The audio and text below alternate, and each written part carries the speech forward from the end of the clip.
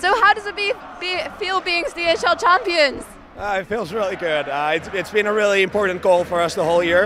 Uh, we focused 100% in every game, and it, it feels really good to uh, win the win the championship. It was a tough game. Um, how do you how do you feel now it's over?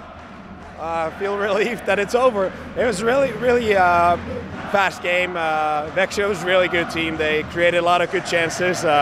As our goalie was unreal the whole game. He was really really good, and uh, well, it was a one goal game, so it was really really tough.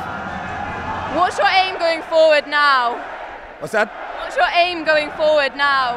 Well, after after this, uh, we're just focused on our uh, uh, Finnish championship. Uh, it's still we got a lot of season left, uh, but this gives us a lot of confidence for sure and energy for the rest of the season.